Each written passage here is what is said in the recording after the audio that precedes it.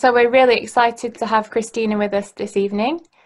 Um, and her talk will look at how the ocean is reacting to climate change. So from a sailing boat to the web, we'll explore how the chemistry of the ocean is changing with dramatic consequences for marine life. We'll explore the digital artwork diving into an acidifying ocean, which was realised in collaboration with Google Arts and Culture and is a web experience that uses data to visualise the process and the consequences of ocean acidification.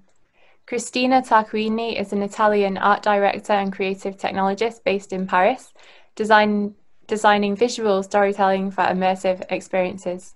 Her digital practice is getting more and more focused on climate and social issues that are reshaping the 21st century. Cristina's work has been shown internationally at Somerset House, experiments with Google Arts and Culture and Ars Electronica. So we're really excited to um, have Cristina to speak this evening. I'll pass on to you, Cristina. Thank you very much, Melanie and Louise, and uh, good evening or good morning to everybody. Um, yes, so my name is Cristina Tarquini, as, uh, and as Melanie said, I'm an art director in creative technology now, uh, technology, sorry, now based in Paris. And today I'm gonna talk a little bit about my practice and a little bit about what I do.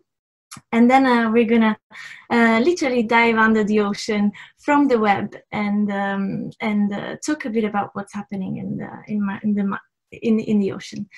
So I'm gonna share my screen, hopefully without any glitches. So hopefully you can all see my screen.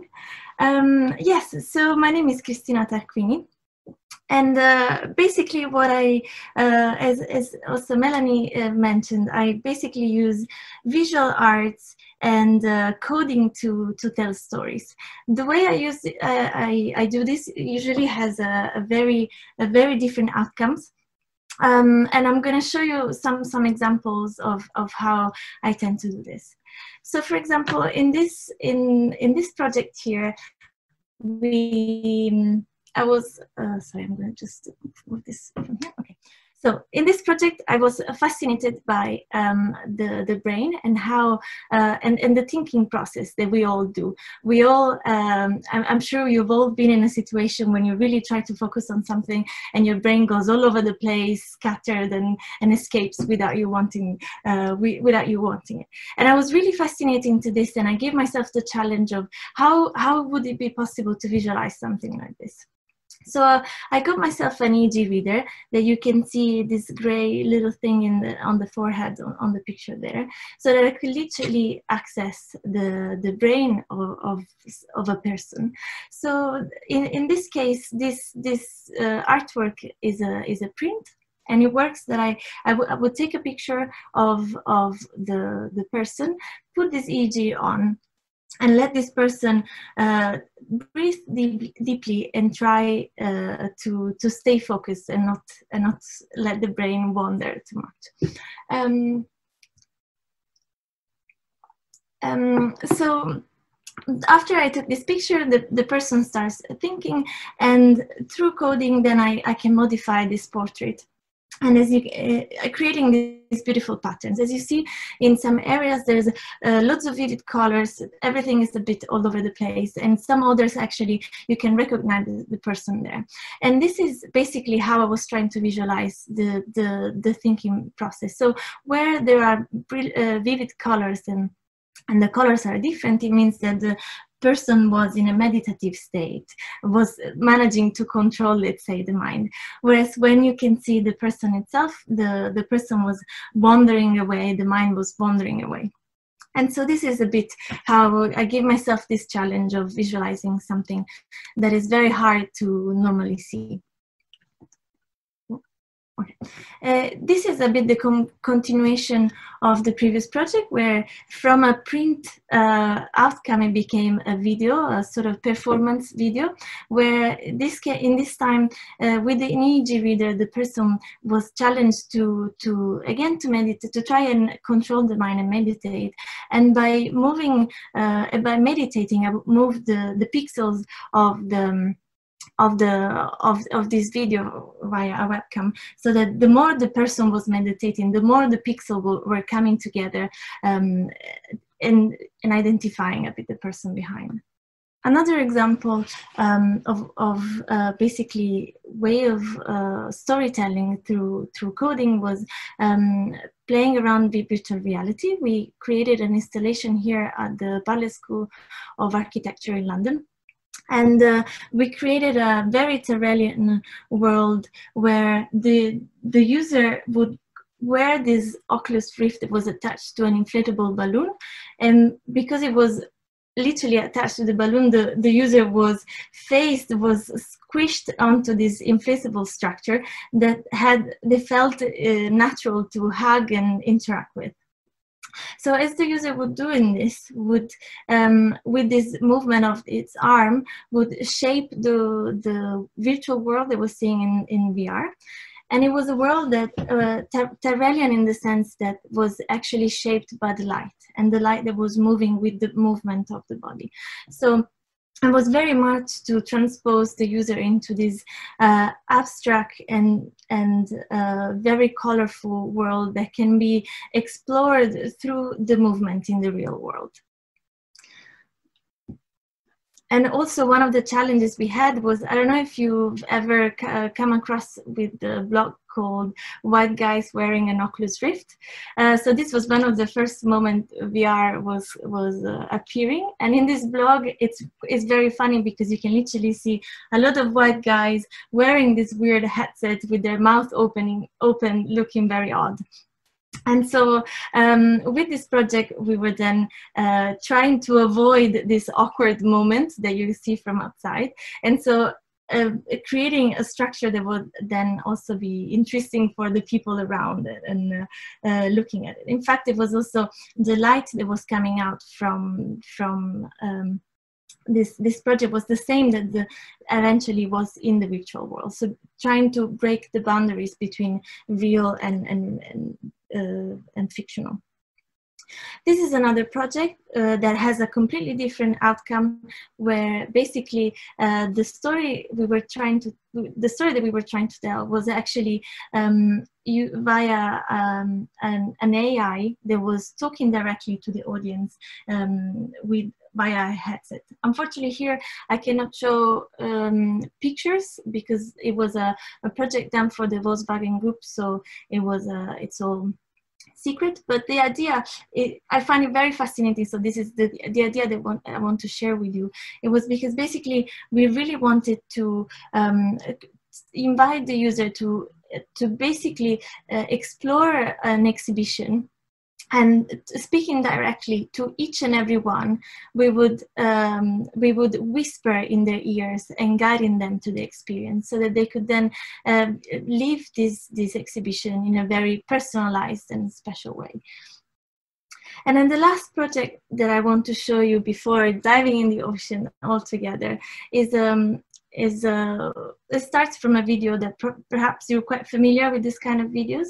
Um, so it's a project using machine learning, and uh, this this project I did it during the the confinement, during the quarantine of uh, the pandemic that we're all living right now, regardless of where you are. I'm sure right now, unfortunately, we're all in this. Um, and I found that the basically the the social distancing that we were living in this moment were, felt to me um, very similar to this to the, to the, gap between genders that we have these days. Um, there, it, it, really felt uh, like a, a, a, very true uh, experience. This this social distancing that we had normally. Um, and, and, it really felt to me as a as a very true um, metaphor of the of of this gender gap that we have nowadays. So with this project, I trained the machine on um, stereotypical depiction, mainstream images of, of women, so the very objectified, very, you know, let's say, very much of, of the pop culture.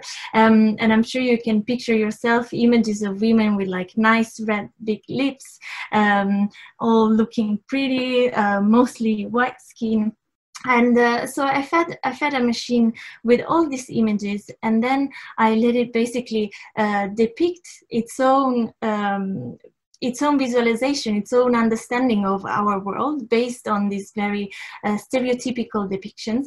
And then I was, I basically um, moved through the latent space of the machine to try and find really the glitches that were actually trying to reveal the true gaze of the women that nowadays are hiding behind the stereotypes. So, for example, um, strong and fierce. Um, uh, gazes that are trying to move beyond um, this objectified uh, persona and really try and, and long for an equal society where we all stand equal together. Um, so these are some of the examples of the project.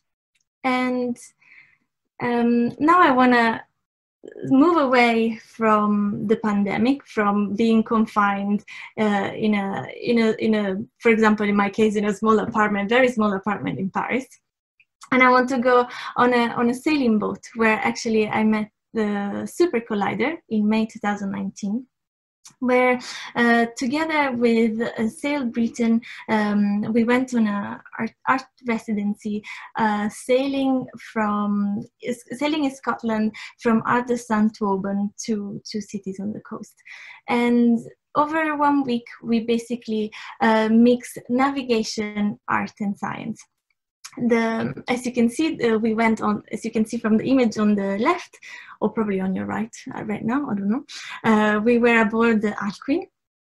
And it was a, a, super lovely crew of very different people uh, from photographers to sound artists to um, artists working with uh, with for example uh, particles coming from the air. And it was super inspiring because over this um, very confined space. We traveled very far in in terms of uh, um, yeah in, in in this magical landscape that we that we discovered. Um, what I what I was doing on this boat was trying to use data. Oh, sorry, um, try to use data to understand a bit what is happening on the ocean.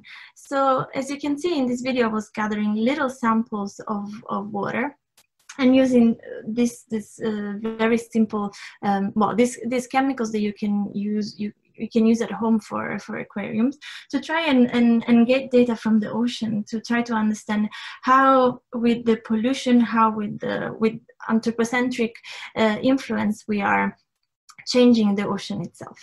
And this is um, so i was i was moving i was like during this this this trip i was gathering uh, small quantities of water and try to understand the ocean because nowadays now we're gonna we're gonna get into this a bit more with the project later. But because of all all we are Im, Im, emitting in the in the air the ocean is changing so much. Um, and I was really fascinated by how um, how this change is really affecting the chemistry of the water, which to us always seems blue, always seems the same. It's very hard to understand what how this is uh, changing its chemistry. And so I, out of this um, residency, I used this data to create this uh, wave that would change over time um, and as you can see here, this eventually was the, the outcome of this uh, installation, where a wave would get would would have, for, as you can see here, some red and, and yellowish spots, um, symbolizing this change in the sea. This was very much an artistic uh, standpoint, uh, an artistic interpretation, but we are gonna get uh, now onto a more um, scientific one. So now we arrive on, on diving into acidifying ocean. So from our, from our sailing boat, we arrive in the middle of the ocean. And this is a project that, as Melanie said, uh, was done in collaboration with Google Arts and Culture. And they approached me to answer a brief on climate change in general. Um, and I decided to uh, work on the ocean and try to understand how the ocean itself is changing due to the anthropocentric uh, anthropocentric um, impact.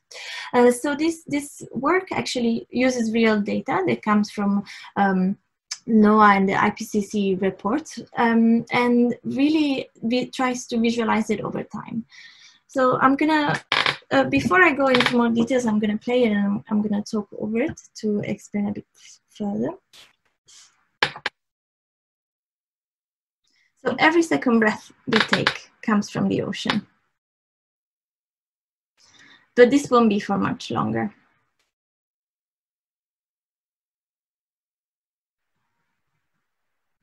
We're in the process of killing 96% of ocean life.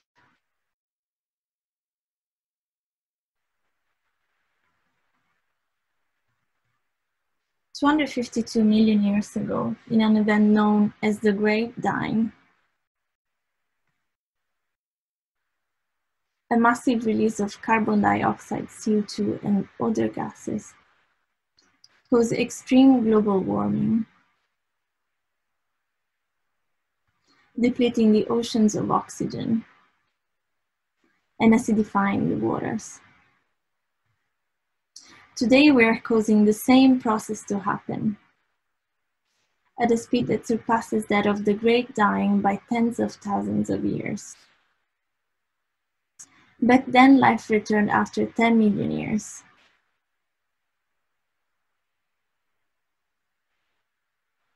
If we fail to act, what will happen to ocean life and to us?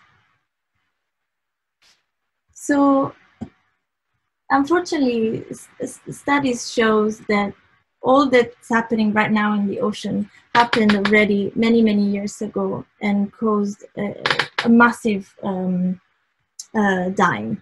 Um, and um, unfortunately, what is happening today, it's happening at a speed that is much higher than that, that was happening back then. And this is all because of what we have been um, insert, emitting in the, in the air, this CO2 we've been emitting in the air basically when CO2 is emitted in the air, it gets absorbed by the ocean and interacts with the, with the chemicals of the ocean. The, um, this, this, chemi this chemistry, uh, this chemistry, chemical change can be understood analyzing the pH, which is, a, which is one of the few data sets that you can see on the top right here. And basically, the pH can determine the level of acidity of a liquid. For example, you can say of a, of a lemon juice, of simply water, or uh, some, some of the chemistry used to wash your clothes, for example. And um, it's really changing uh, it, with with the emission of CO2 is becoming more and more acidic. And this is causing, unfortunately, um, uh, the, the elements, uh, the molecules that are forming the hard structures in the water not to form anymore. So this unfortunately has a, a tremendous impact on, on, on animals. And in fact, if you, in the experience, then you can encounter um, many different animals and one by one you can explore specifically what, what happens to them. Um, this uh, animation that you just saw is inspired by this animal, which is a pteropod. And study really shows that when pteropods are placed in water with the same pH levels and CO2 that are projected for the year 2100, their shells start decaying within 48 hours and nearly completely dissolve within 45 days. So from a scientific study, I found some photos that were uh, depicting how this shell of this animal that you saw dissolving were actually dissolve, dissolving in water. And these images show that after 45 days, almost nothing was left of this shell. And so these images then became the foundation for this this this solution, this uh, animation that you just saw. This that really, um, it, it is really true that these animals unfortunately are disappearing. And so, yes, um, for, um, during the experience you can you can read uh, of what happens to all of them so the experience itself um, has a as a timeline at the bottom and I'm just read this. As a timeline at the bottom where you can explore the ocean changing from it, the year 1860 to the year 2100. And over time, you can see how the planet's temperature is increasing, how the pH is becoming more acidic, and how um, the CO2 is being absorbed and oxygen is lost in the water. So a study has shown that since 1860, today the ocean is 30% more, acid more acidic And by 2100, it will become 170% more acidic. And this is at just deadly consequences on marine life. Almost one third of carbon dioxide, CO2, is absorbed by the world's ocean. This acidifies the water to a chemical process called ocean acidification.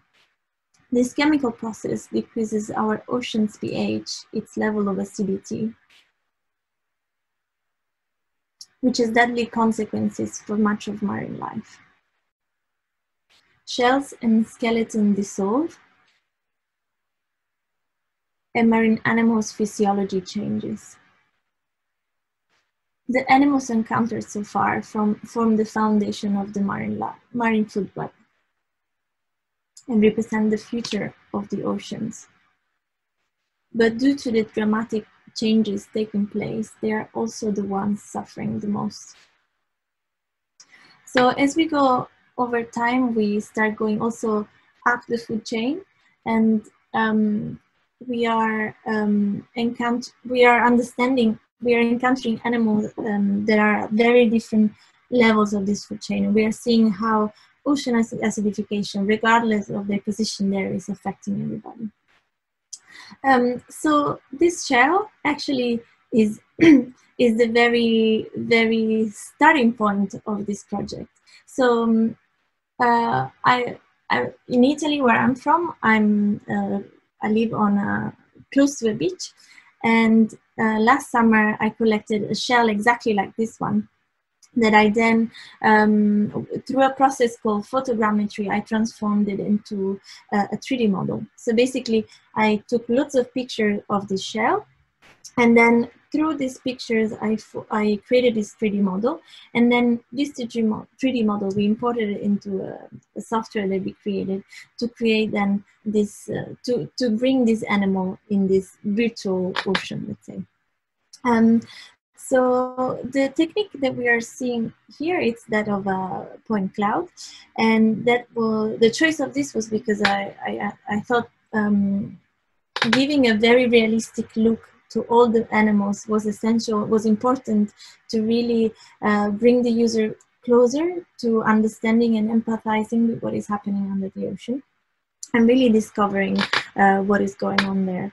And then the look of the point cloud really allowed to create this this dissolving animation and altering the shape, um, and really uh, try and bring the science to um, to a to an artistic um, take.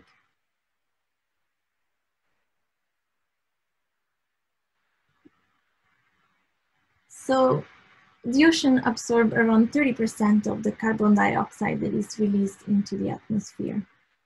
Since 1860, the ocean's pH has fallen by 0.1 pH units, from 8.2 to 8.1 pH. What seems like a small change of 0.1 actually means that today the oceans are 30% more acidic. In humans, a drop of 0.1 pH units in the blood can result in seizures, coma, or even death. If we continue at this pace, by 2100, the oceans will be 170% more acidic, falling to a pH of around 7.6. Let's consider the huge consequences. Ocean acidification can precipitate ecological collapse. Research has shown that 66 million years ago, a drop in pH of 0.25 was enough to precipitate another mass extinction. And it was hundreds of thousands of years before life returned to normal.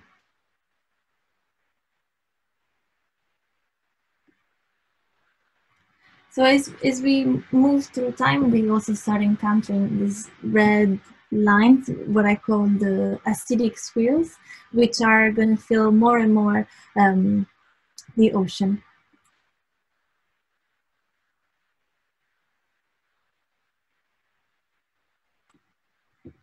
octopus, oh, cephalopod, sorry. When environmental hypoxia, a lack of oxygen in the water, and water acidification pressures are high, a cephalopod's blood is unable to take in a sufficient quantity of oxygen from their gills, and death from asphyxiation, of course. Of course. So unfortunately, it isn't just ocean acidification that is transforming the ocean. It's also um, it's also the mix of all of the of all the all the chemical changes. So, for example, oxygen is starting to lack. Is, is the deoxygenation is starting to happen. Temperatures are rising, and all of these together are really um, making it hard for animals to survive. As you can start noticing, the ocean has started to change color. It's not blue, fully blue anymore. It started to be a bit um, yellow. And this is uh, very related to the pH uh, value data that we found here.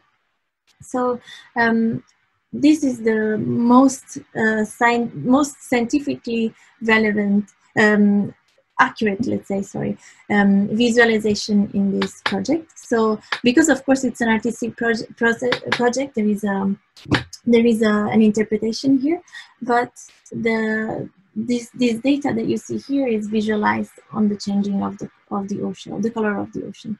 We're gonna see that over time it's gonna become more and more red. Also over time, we can see that we, it isn't just animal that we encounter, but for example, this is a ghost net.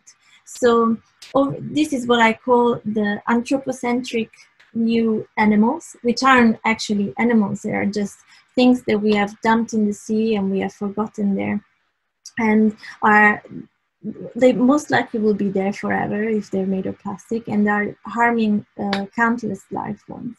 For example, a ghost net, which is just a, ghost, uh, a net that has been forgotten there, has been abandoned, it's not really feeding anybody. Um, on average, these nets entangle and harm between 30 to 40 marine animals per net when left in the ocean. And again, this isn't food that eventually will feed somebody, will sustain uh, economies or people. It's just there to kill for no reason.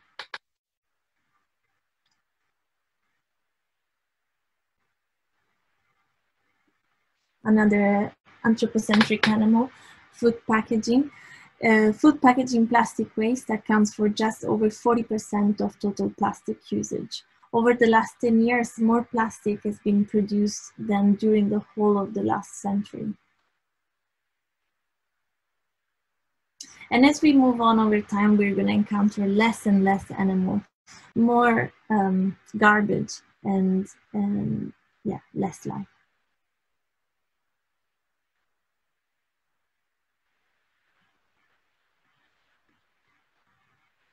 A tuna.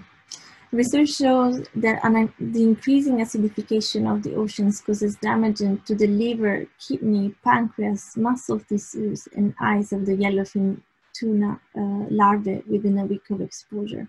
So regardless in the food chain we are, if we are at the bottom, if we are at the top, all animals are equally uh, affected by ocean acidification.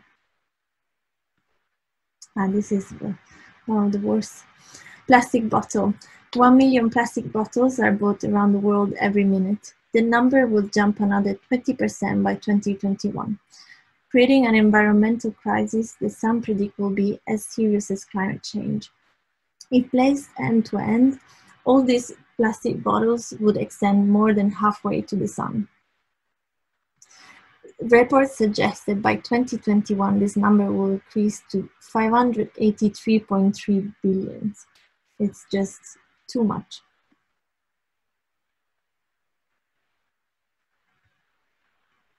So the ocean is slowly transforming, is becoming more yellow.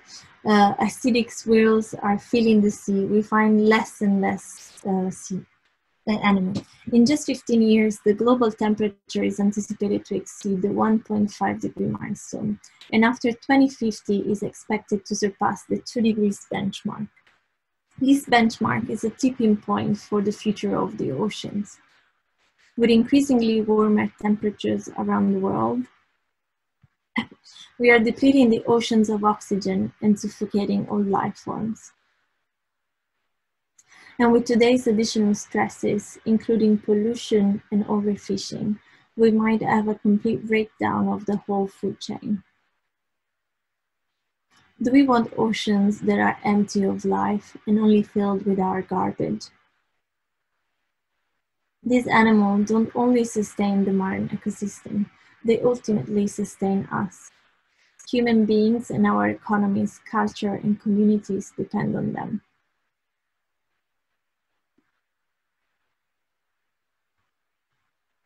Jellyfish. Jellyfish are one of the oldest species on the planet, having existed for more than 540 million years. It's remarkable how much this creature can endure. But how do we keep our oceans from being predominantly full of jellyfish? Jellyfish are one of the few, if only the only animal that isn't negatively affected by uh, ocean acidification because they are mostly made of water. They're made of this gelatinous um, uh, substance. Um, and unfortunately, because we are overfishing all their predators, they are just free to, to, to roam undisturbed in the oceans.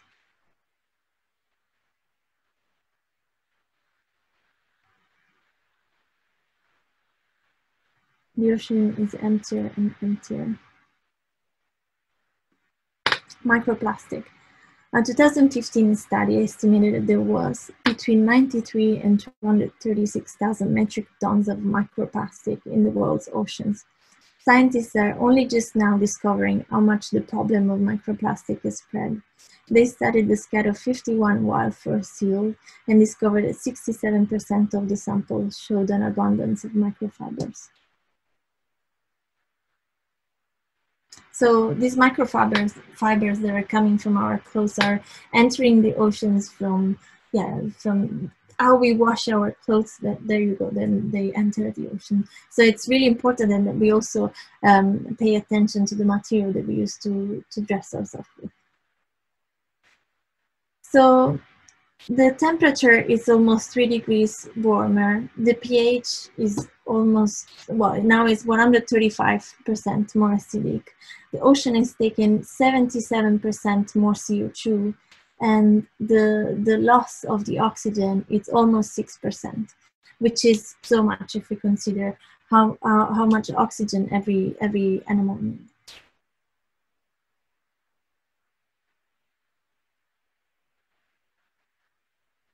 We still have the power to help our oceans. But the time to act is now.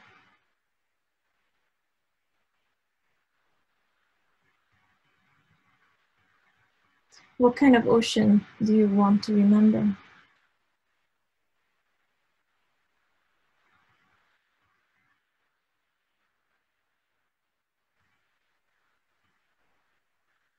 these are some of the things I try to do to reduce my carbon footprint and act, uh, act consciously. And this is uh, something that anybody can do because, I mean, um, such changes really are government dependent, but anybody, any, any of us can do something to, to help. For example, recycle and use a compost for organic food, bike more and use uh, public transport or electric vehicles Definitely refuse disposable plastic. Eat local fish and avoid it when landlocked. Uh, look for sustainable labels. Reduce meat intake and eat seasonal and local. And choose sustainable and clean energy. So this was a diving in acidifying ocean. I hope you enjoyed it. I'm gonna move back to the